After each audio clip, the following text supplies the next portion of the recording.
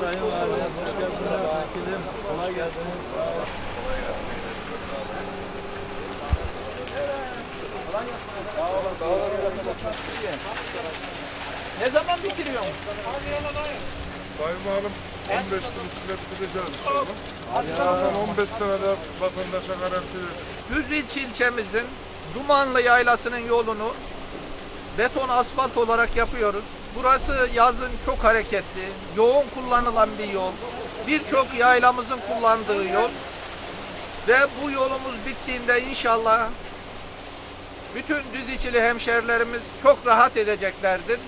Çok güzel bir hizmet olduğunu düşünüyoruz. Hayırlı uğurlu olmasını diliyorum.